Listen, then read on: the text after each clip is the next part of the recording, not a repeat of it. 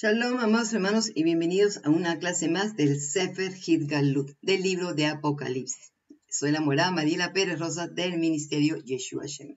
Bueno, ya estamos llegando casi hasta el fin ya este, una vez que llegamos al capítulo 12, como dije yo, que es el axis central, ya lo que nos queda es poco, que vamos a, a, ¿cómo se llama?, a tocar algunos temas, porque como verán, si ustedes estudian más semanas este, eh, los sellos, este, las copas, las trompetas, todo tiene los mismos temas, y como dije, pues son como los mismos, saber cómo repetir. Lo que estoy tratando es de sacar algo importante que encuentro en alguna de las copas, la, copa del castigo, en fin, porque ya estamos en esta parte.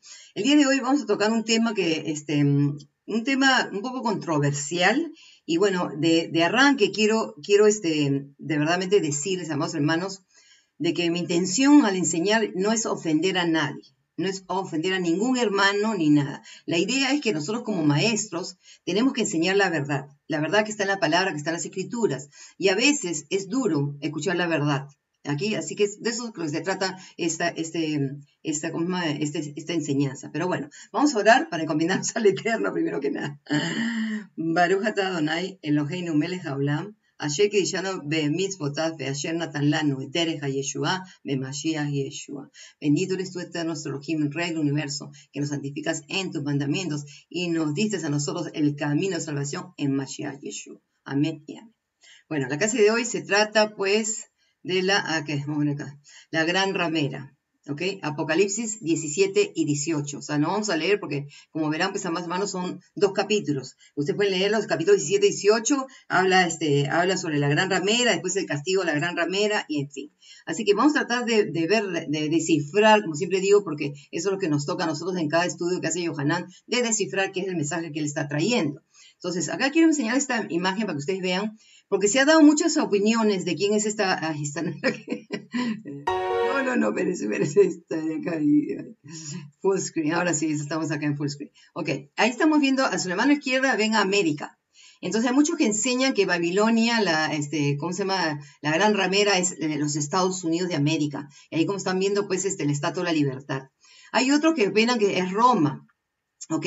Este, que, y también, este, ¿cómo se llama? Este, eh, que es Roma, e incluso como ven esa la mano derecha donde ven las monedas, a Roma la, relacionan con Babilonia, y, este, ¿cómo se llama?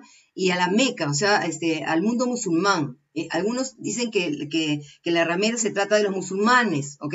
Y lo ven, pues, como una similitud que tiene, este, eh, ¿cómo se llama? La, em, Roma y, los árabes. Este, acá hay algo que quiero este, parar un ratito antes de enseñarles esto, es ¿por qué sacan esa idea? Es porque en realidad cuando la destrucción del, segundo templo, sabemos que fueron los romanos, ellos pidieron ayuda a los edomitas, Edom, Edom, donde sabemos que Idumea, y donde sabemos que Idumea, Edom hizo pacto con Ismael, se, se mezclaron, entonces de ahí más o menos es que sacan esa idea, ¿ok? Ok, vamos a volver nuevamente. Y por último, la imagen que tienen abajo del mapa de Estados Unidos es Jerusalén. Ahí lo que dicen que la gran ramera es Jerusalén, es Jerusalén. ¿Ok? Así que, este, ¿qué es lo que realmente pues Johanan está tratando de enseñarnos? ¿Ok? Es lo que realmente es lo que él está viendo. ¿Ok?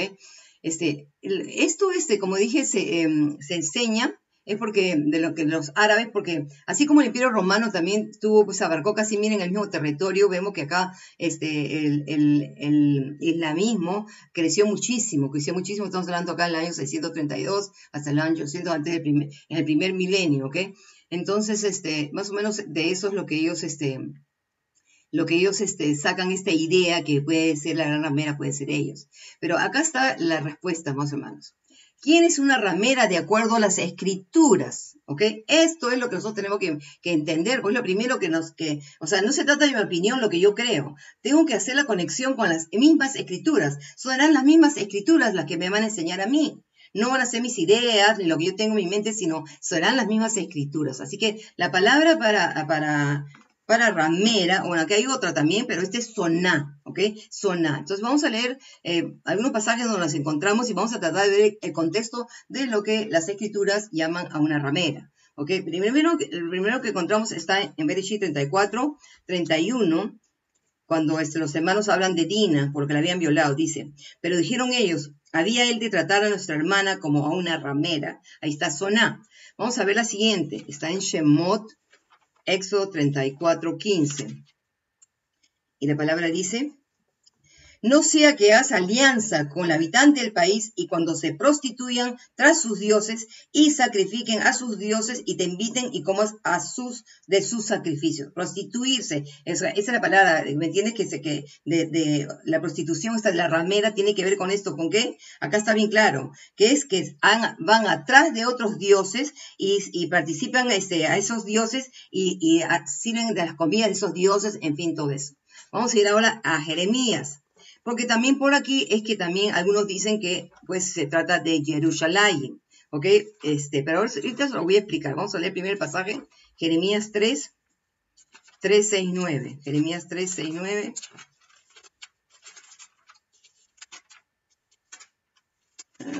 Yirmiyahu 3, 6, 9. Y la palabra dice, en los días del rey Josías me dijo Yahweh, ¿has visto lo que hace el apóstata de Israel?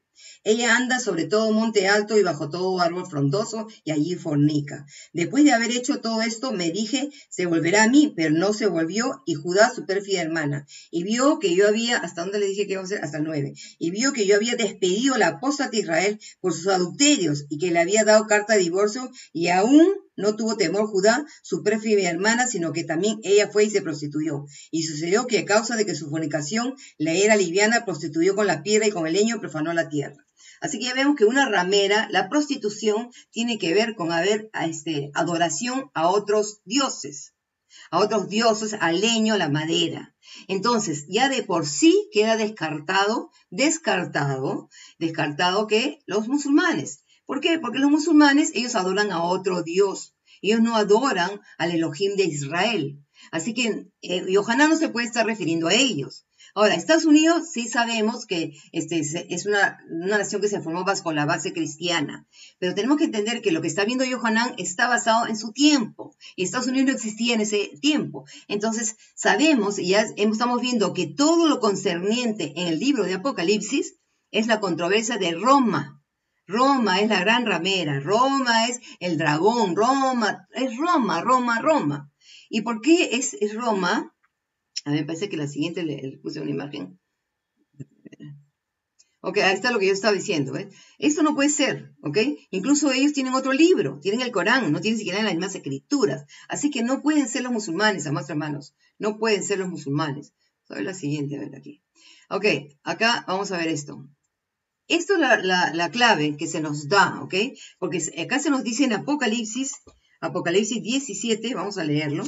Apocalipsis 17, 5, 6, donde dice, y en su frente estaba escrito un nombre, Misterio Babilonia la Grande, madre de las rameras y de las abominaciones de la tierra. Y vio la mujer embriagada de la sangre de los santos y de la sangre de los mártires de Yeshua, y al verla me asombré con gran asombro. Pues, ¿cuál, esta ramera tiene que, la, sangre que tiene de los mártires de Yeshua. Entonces, lógicamente, amados hermanos, sabemos que ya a partir del, primer siglo, empezó después de la destrucción del templo, hasta, hasta el tercer siglo, una persecución a los creyentes a los creyentes, sabemos que fueron torturados, que fueron quemados como artochas, que fueron comidos por leones en el famoso Coliseo romano. Entonces nosotros ya sabemos de por sí, pues amados hermanos, de que esto es Roma. Porque cuando, imagínense, cuando hemos visto que Estados Unidos mate a los, a los, a los cristianos, a los creyentes. Bueno, ya me si los árabes sí lo hacen, está bien, ¿ok? Pero el punto, como están viendo, es esto. Tenemos que entender en lo que, lo que Johanna está viendo y a quién se está refiriendo, ¿ok? A quién se está refiriendo. Y además, por último, tenemos que entender, amados hermanos, que esto es la clave también para nosotros. Roma es este tipo de Babilonia. ¿Por qué? Porque tanto eh, Babilonia, o sea, el reino, el primer reino que destruyó el primer templo fue Babilonia, y el reino que destruyó el segundo templo fue Roma. Entonces es lo mismo. Y no es casualidad que encima sucedió el mismo día. Tisha el 9 de Av. ¿Ok? Tisha eso es lo que es. ¿Ok? Entonces imagínense, amados hermanos. ¿Ok? Esto es increíble, increíble, increíble. Así que esto no son casualidades. Entonces ya de por sí sabemos que esta gran ramera es nada más y nada menos que Roma. Roma, Roma. ¿Ok? Vamos a ver la siguiente. Ok, miren, amados hermanos, estamos viendo que la acusa de prostituirse con el leño. Nosotros ya sabemos, a mí me da mucha pena, por eso dije, esto es algo que yo no estoy atacando a ningún católico en, sí, estoy atacando a, la, religión católica y lo que enseña, porque ellos, amados hermanos, han llevado a la idolatría al mundo. Ahí está, las imágenes, como dije yo, son más que mil palabras. Ustedes ven, en todas las iglesias católicas hay imágenes de yeso, ¿Ok? Y miren esto, miren el Papa besando un crucifijo con un cuerpo o besando, besando los pies de la Virgen María de una imagen, la cantidad de santos e imágenes que se han hecho. Entonces, esta es la razón por qué esa es la ramera. Porque ellos se dicen creer en el Elohim de Israel. Ellos dicen creer en Yeshua. Y sin embargo, ¿qué es lo que han enseñado? Más se enseña a adorar a María que a Yeshua, o a Miriam, porque es su verdadero nombre. Ellos enseñan que hay miles de santos que tú puedes pedir a los santos. Cuando sabemos que hay solamente un intercesor entre Elohim y los hombres y ese es Yeshua nuestro Mashiach. Entonces, esta es la apóstata, esta es la gran ramera, que con sus enseñanzas ha plagado el mundo y ha llevado todas sus enseñanzas a, la idolatría. Pero mire, amado hermano, si usted es un hermano católico que está viendo esta enseñanza, mire, yo le digo, agarre la Biblia y comience a leerla. Porque la cosa más grave que hizo la Iglesia Católica fue cambiar los mandamientos, las fiestas de Shabbat, todo eso. En los mandamientos se los enseñan mal se les enseña a amar a Elohim sobre todas las cosas, que no jurar su nombre de Dios en vano, santificar las fiestas, honrar padre y madre. Pero si usted va a Éxodo 20, donde están los mandamientos, usted va a ver que comienza, yo soy Elohim que sacó la tierra de, Egipto, no tendrás dioses ajenos a mí, no te imágenes de ninguna clase, guardarás el Shabbat, no las fiestas, porque la Iglesia Católica, ¿qué fiestas? Las que ellos inventaron, las que ellos denominaron como cristianas, que vienen de un contexto totalmente pagano. Entonces, por eso que esta es la gran ramera, más hermanos. Imagínense, todavía no solamente eso. Miren, sabemos pues de que este, e, esta fue la que conquistó el mundo entero. Esta ponía reyes y sacaba reyes. Es la que, hizo las cruzadas, la Inquisición. Esa es la que realmente ha perseguido al pueblo judío. Ellos fueron realmente, vamos hermanos, los causantes de muchos de los causantes de la, del antisemitismo ellos enseñaban que era, este, los primeros padres de la iglesia eran antisemitas, enseñaron que era, este, los, los, los, judíos eran los asesinos de Cristo, como le llamaban, que las sinagogas eran, en fin, este, cuevas de demonios y unas, unas declaraciones horribles sobre el, pueblo judío, porque esta gente no ha entendido, no ha entendido, no ha entendido, y realmente que es bien triste. Y no solamente eso, miren, acá también tenemos otra clave. Imagínense, dice que esta ramera está vestida de rojo y escarlata o de púrpura y escarlata. Ahí está. Estos son los colores de los avipos, los cardenales. Estos no son casualidades, amados hermanos. Estos no son casualidades. Así que vemos claramente que esta gran ramera eh, se refiere a ellos. Y miren, esto ya es una cosa increíble, increíble que les voy a mostrar aquí. Miren, amados hermanos. Estos tronos, estos donde se sienta este, el Papa, han hecho estas sillas con una cruz de cabeza. Yo estoy segura, miren, acá ustedes viendo ahí esta imagen de la, de la, de la cruz, esa del círculo, de la cruz de cabeza, es, la, es el símbolo satánico de Satanás, es la cruz de cabeza. Ok, y yo, acá hay algo muy interesante, porque nosotros sabemos que, mira, tal vez, estoy segura que la explicación que le van a dar, que por qué ponen la cruz de cabeza, creo que la ponen a veces en algunos de los bastones de los papas y en las, en las sillas, en sus sillas, en sus tronos, es porque ellos sacan de qué, porque ellos dicen de que ellos han heredado el papado de Pedro. Y sabemos que por la historia que Pedro, que Pedro, este, cuando fue crucificado, pidió que sea crucificado de cabeza. Entonces, por eso lo más probable es que ellos, este, o sea, ellos se valen de esto. Pero en realidad, más hermanos, que hay que tener mucho cuidado. Porque acá se nos dice Apocalipsis, y se nos ha venido diciendo de que el dragón le dio poder a esta ramera. Que ella está, está sentada sobre el dragón. Entonces, imagínense, más hermanos, esto es terrible, terrible, terrible, terrible, terrible. Ok, miren esto, más hermanos. Dice el Concilio de Florencia, 1431-1445, o sea, empezó en 1431 y se escribió hasta 1445, o sea, tuvo varios procesos. Ellos dicen, nosotros definimos que la Santa Sede Apostólica y el Pontífice Romano, es decir, el Papa, tienen la primacía en el mundo entero y que el mismo pontífice romano es el sucesor del bienaventurado Pedro, el jefe de los apóstoles y el verdadero vicario de Cristo y que Él es la cabeza de toda la iglesia y padre y maestro de todos los cristianos y que el poder completo fue dado a Él en el bienaventurado lugar de Pedro con nuestro Señor Jesucristo para apacentar, regir y gobernar la iglesia universal. ¿Qué es la iglesia universal? La, iglesia católica. Eso es lo que significa católico, ¿ok? Imagínense, amados hermanos, ellos están nomando padre, ¿ok? Este, el vicario de Cristo, el representante de Cristo en la tierra. Yeshua no dejó a ningún representante aquí en la tierra. Él sigue siendo la cabeza, Él es nuestro maestro, la cabeza. Y es el Ruach el que es el que, el que Él dejó en la tierra, para que a través del Espíritu Santo nosotros pudiéramos obedecer su palabra, como dice en Romanos 8. Dice que el que tiene espíritu se somete a la ley de Elohim, pero el que no tiene, que está en la carne, no puede. ¿Ok? Así que vemos, pues, amados hermanos, que verdaderamente, este, y se creen cabeza de todos, y tristemente esto es algo que tienen que entender nuestros amados, hermanos cristianos. Tienen que divorciarse de Roma. Tienen que dejar de guardar todo lo que Roma estableció. Está incluyendo el domingo, la Navidad y todas las fiestas que celebran. Esto es increíble, amados hermanos. Tenemos que volver al camino. Por eso que en estos últimos tiempos, en la misericordia del Eterno, está viendo esta restauración por todos los rincones de la tierra. Porque el Eterno no va a venir ni va a juzgar a nadie hasta que sea eh, eh, escuchado por todos los cuatro rincones de la tierra esta restauración. Del regreso a la Torah, a sus mandamientos, al Shabbat, a sus fiestas. Y esto está sucediendo en los, todos los rincones de la tierra. Desde que Israel regresó, ahí empezó el tiempo, el tiempo gentiles se terminó y empezó el tiempo de Israel. Ahora el pueblo judío está creyendo Mashiach. Y eso que ellos están enseñando. Eso no significa que no haya ningún gentil de otras naciones que vaya a ser injertado, no.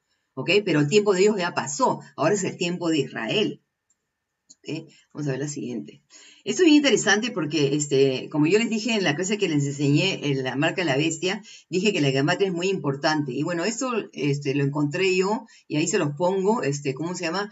Este, porque acuérdense que Vicarius Fili Dei, que es el vicario de Cristo, eso es lo que significa, esto está en latín, y sabemos que las, consonantes este, de latín tienen valores numéricos igual que, el, hebreo, o sea, cada consonante tiene un valor numérico. Entonces ahí dieron esto eh, en las consonantes que existe, con el acuerdo de los números romanos, Entonces ahí la palabra Vicarius tiene este valor numérico 102, Fili 53 y Deis 501 y todo suma 666.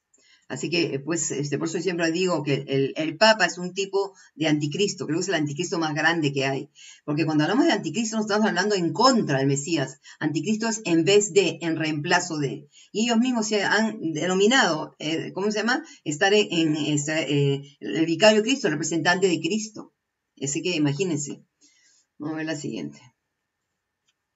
Ok, hay algo que acá les voy a compartir algo porque esto es increíble, increíble, increíble. Nosotros hemos este, visto mucho desde tesalonicenses que habla que ya está en pie el, el, el, ¿cómo se llama? El hijo de la perdición, el que cambiará la ley y todo eso, porque en realidad habla de la nomos. Pero hay algo que quiero enseñarles yo porque verdaderamente que este, las personas no entienden. Muchos estamos pensando eh, en que va a venir un anticristo, que va a ver el templo, que va a profanar el templo, porque todo lo llevamos hasta, hasta último, hasta los últimos tiempos de nosotros. Y no, no, nos damos cuenta que hay muchas cosas que ya se han cumplido que ya se han cumplido, como hemos visto, por ejemplo, lo que aprendimos en la clase pasada, en la, en Armagedón, en la, en la guerra de Jarneguido, hemos visto que había muchísimas guerras, ¿ok?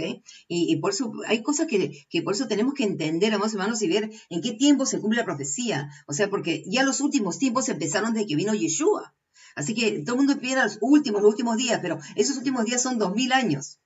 ¿Ok? Son dos mil años. entonces, todo esto tiene que ver, este, este misterio de iniquidad, todo esto ha tenido que ver desde, siempre. O sea, es una cosa que se ha ido, venido repitiendo. Entonces, vamos a leer acá el pasaje que les puse, Daniel 11, 30, 39. Y sabemos que a Daniel se le, se le enseñó las cuatro bestias, y sabemos los cuatro imperios. Ya sabemos que fue Babilonia, Medio Persa, Grecia y Roma. Y eso ya lo sabemos. Entonces, de esta Roma es que Daniel ve acá, este, dice, el capítulo 11, del 30 al 39, dice, porque vendrán contra él las naves de Kitim y él será intimidado y volverá y se indignará contra el pacto santo y hará según su voluntad y volverá y se entenderá con los que abandonan el santo pacto y se levantará de su parte tropas que profanarán el santuario, la fortaleza y quitarán el continuo sacrificio y pondrán allí la abominación desoladora. Lo que vimos que Yeshua dijo, que cuando veáis la abominación desoladora, huid, Y todo el mundo está esperando esa abominación desoladora para los últimos tiempos. Pero ahora se los voy a explicar. Dice, y aquellos impíos violadores del pacto los inducirá en la apostasía por medio de halagos, pero el pueblo que conoce a su Elohim se forzará, se forzará y actuará. Y los sabios del pueblo harán que muchos comprendan, aunque por algún los días caerán a causa de la espada de las llamas de cautiverio y de saqueo, pero en su caída serán ayudados con socorro pequeño, por lo cual muchos se juntarán a ellos con pretextos engañosos, pero en algunos de los sabios tropezarán para que sean acrisolados, purificados y emblanquecidos hasta el tiempo de fin, porque aún falta para el tiempo determinado.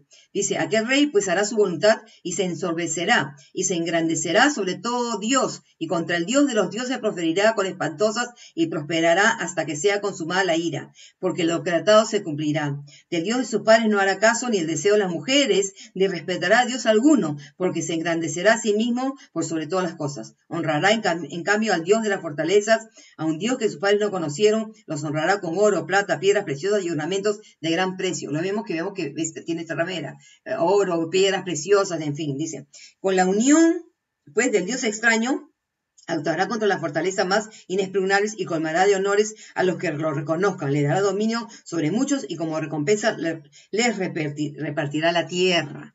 Ok, este pasaje que está dando Daniel se refiere a los tiempos de Antíoco Epífanes, ok, a la guerra de los macabeos. Eso es lo que está viendo, la abominación desolador, desolador que hizo el loco este Antíoco Epífanes, que profanó el santuario y, sacrificó un cerdo, un animal impuro en el altar. A eso se refiere. Pero nosotros vemos que Yeshua también vuelve a repetir eso. Cuando veáis, vamos a leerlo, está en Mateo 24.15, 24.15, que dice, Dice, por tanto, cuando veáis la abominación de la desolación dicha por el profeta Daniel puesta en el lugar santo, el que está leyendo entienda. ¿Ok?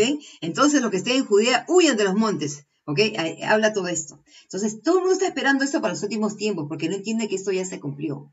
Y aquí vamos a ver, amados hermanos, realmente cómo ha sido este cumplimiento, triple cumplimiento, por la ofrecida a veces es, cíclica, se repite. Y muchas cosas que la gente no conoce, ¿ok? Que le poner esta imagen para que la vean. ¿Ok? Ahí estamos viendo, empezando con Antíoco Epífanes. Prohibió circuncisión, prohibió guardar el Shabbat, prohibió las fiestas del Eterno, obliga a comer cosas impuras, profanó el templo, sacrificando un cerdo en el altar. Dice, este, en el lugar santo, una estatua de Zeus olímpico fue levantado. Con halagos quiere convencerlos de la unidad del mundo y del pensamiento helenístico, este, eh, mente-cuerpo, persigue a judíos que no se someten. El emperador Adriano, en el año 135, cuando expulsa a todos los judíos, ¿ok? durante esta expulsión, ¿ok? Quiero que entiendan que, mira, acá voy a este, explicarles algo. Hay gente que no saben que en el año 90, el año 70 fue destruido el templo. En el año 90 se, volvió a reconstruir un templo, ahora se lo voy a enseñar la imagen, un templo en el templo donde estaba el templo de Yahweh, el, templo del Eterno. Un templo, Roma, este, este emperador este, creo que, no me acuerdo si es Vespasiano, ahorita voy a, voy a, creo que tengo el nombre, ¿ok? Que levantó un templo en el lugar santísimo, donde estaba el templo, y hacía lo mismo. ¿Por qué? Porque el dios que ellos adoraban es a Júpiter, y a Júpiter se le sacrificaba cerdos. Entonces ahora sí vamos a ver de nuevo la, esta la pantalla, donde dice, el emperador Adriano en el año 35 dice, prohíbe circuncisión, prohíbe guardar Shabbat, prohíbe fiestas del Eterno, pone en el lugar santo, dice, y en el Golgota una, una, una, una imagen de Afrodita, Dice, quiere imponer la unidad de Roma bajo una sola religión. Persigue y expulsa a los judíos. Cambia el nombre de la provincia de Judea por Siria Palestina o Aelia Capitolina. El nombre de Jerusalén por Aelia Capitolina. Y en el año 325 se vuelve a repetir este tipo, con Constantino, cuando prohíbe circuncisión, prohíbe guardar el Shabbat, obliga a guardar el domingo, cambia, eh, las fiestas este, paganas, obliga a adorar imágenes de Jesús, bueno, que dice que son las de Zeus, bueno, que olvídense eso, dice, quiere imponer la unidad de Roma bajo una sola religión, persigue a judíos y creyentes en el Mesías judío, acusándolos de herejía. Más tarde los herederos de este trono, el papado, impondrían la Inquisición. Así que, como verán, amados hermanos, ahí tienen ustedes esto, porque esa abominación desoladora es, tiene que, la abominación que causa destrucción, eh, tiene que ver con esto. Y es el sacrilegio en el lugar santo, en el monte Moría, en el lugar del templo. Así que, como verán, amados hermanos, esto se cumplió dos veces. Primero con este emperador, ¿ok? Y después con Constantino, Ok, ahí está. Esta es la imagen que les quiero enseñar. Así después de la destrucción de, Jerusalén, Roma, este, no me acuerdo qué emperador fue, amados hermanos, no sé si fue este Domiciano, no sé qué, uno de esos locos, fue el que levantó este templo ahí en el, lugar del monte Moría, ese templo a, Júpiter. Y había un altar pagano que se sacrificaba cerdos, porque eso es lo que. Por eso que ustedes no entienden que por qué el, el, el, em, que está, ¿cómo se llama? El, em, cuando los cerdos, esto cuando eh, el, ¿cómo se llama? El, Ay, el que tenía el espíritu inmundo, ese de Gesarea, ese lugar, que Yeshua le saca el espíritu inmundo y se van a los cerdos. ¿Ok? ¿Ustedes nunca se han preguntado por qué? ¿Por qué habían cerdos? Porque eso era un, eh, lugar eh, romano. Lo más probable es que había ahí un centro romano de, soldados romanos. Y ellos ofrecían a Júpiter el cerdo. eso es lo que sacrificaban. Así que, como verán, pues de esto se trata, más hermanos. Eso es increíble, ¿ok? La otra. Ok. Acá hay algo que quiero que esté más o menos que también puede tener una relación en lo que, por ejemplo, lo que dice el Apocalipsis. Dice, cuando dice gobernó por dos meses, este, acuérdense que habla la bestia y todo eso. Para empezar, debemos entender que en el hebreo un día es considerado exactamente 24 horas. Un día también representa un año, como también un milenio, ¿ok? Este, Ezequiel 4.6, ahí donde se encuentra esto, un día por, por, cada año. El calendario hebreo tiene 360 días, igual a 42 meses, entre 3 y, o sea, igual a 3 años y medio, que exactamente son 1260 días. Ahora, si un día representa un año, entonces 1260 días eh, representa 1260 años. El año de la autoridad papal se considera que empezó en el año 538, después de eh, la era común, o sea, después de, Yeshua, cuando los ejércitos del Imperio Romano expulsaron de Roma a los arianos, este, ostro, ostro, ostrogodos ostrogodos, no sé cómo se dice. Por lo tanto, el asiento de su poder quedó definitivamente fijado en la ciudad imperial, cuyo obispo de Roma fue proclamado cabeza de toda la iglesia y duró hasta el año 1798, cuando el general Berthier, mano derecha de Napoleón de Francia, hizo su entrada en Roma, abolió el gobierno papal y estableció un gobierno secular. Y miren exactamente lo que da. Si vemos la fecha, en el año 1798 menos 538, que es donde el inicio, nos da 1260 días. Así que como ven, pues, este, tiene varios, varios significados. Un pasaje puede tener una repetición de varias cosas, así que este, esto es increíble. Entonces, o menos, pues, esta, esta es eh, la realidad que, este, que como yo siempre les digo, pues, este, ah, aquí hay otra más que quiero este, enseñarles. Ok, dice, fue herido, pero se recuperó. Apocalipsis 13.3, ¿no? La herida comienza a curarse, dice el papá revivido. ¿Por qué? Acá está bien, porque creemos que con, con, Napoleón Bonaparte y todo esto, pues se quitó el papado. Sin embargo, dice los pactos de Letrán o pactos lateraneses fueron una serie de acuerdos firmados el 11 de febrero de 1929 por el cardenal Pietro Gasparri, secretario del Estado de la Santa Sede, en nombre del Papa Pío XI, y por el primer ministro de Italia, Benito Mussolini. Proporcionaron el reconocimiento mutuo entre los entonces Reino de Italia y la Santa Sede, reconociendo a esta como un Estado soberano y Estado independiente dotado de facultades de autogobierno y con opción a establecer relaciones diplomáticas. Así como estamos viendo, pues, de que esta visión que tiene de Apocalipsis 13, donde habla de la bestia y los reyes que vienen, también se puede aplicar a, todo el tiempo de Roma, porque sabemos que por más de que Roma dejó de conquistar reinos en la Europa, porque antes es lo que hacían. Eh, los papas eso es lo que, lo que ponían reyes, a la reina católica de España, a de Inglaterra, después el rey de Inglaterra se divorció, se creó la iglesia angloamericana, es decir, la iglesia católica dominó toda Europa y, y, conquistó y predicó el evangelio con la espada. Y Yeshua jamás nos, nos mandó a conquistar con la espada. Y esto es algo que verdaderamente pues tenemos que meditar, amados hermanos. Y entonces, pero el día de hoy, el, sigue, sigue de pie. El papado sigue vigente como un gran gobierno, como se sigue viendo con la cabeza sobre el representante de toda la tierra del Mesías. Entonces, esto no, ellos no han muerto todavía. Pero hay una profecía que dice que la, que la dejarán vacía cuando sea su juicio, porque dice que el Eterno se va a acordar sus maldades y de verdaderamente que va a llegar el día de juicio y le va a tener que dar, va a llegar el día de juicio por todas las cosas que han hecho, por todo lo que han hecho, de cambiar, sobre todo lo más grave, haber cambiado el Shabbat, el día santo del Eterno, ¿ok? Por el día domingo, ese que el Romba siempre adoró el sol, y muchos imperios, ¿no? Sabemos que eh, los, los, este, los incas, los griegos, los egipcios, en fin, han adorado siempre al sol. Eso es lógico, pero esto es lo, grave que tienen. Ellos han cambiado esto, han cambiado los mandamientos, han cambiado la Torá, han llevado la idolatría al mundo. van, este, enseñan otros caminos de salvación. Enseñan que, que, la Virgen es la que va a aplastar la cabeza a Satanás cuando sabemos que ese es Yeshua. La Virgen es, para ellos es la intercesora entre Dios y los hombres, cuando sabemos que es Yeshua.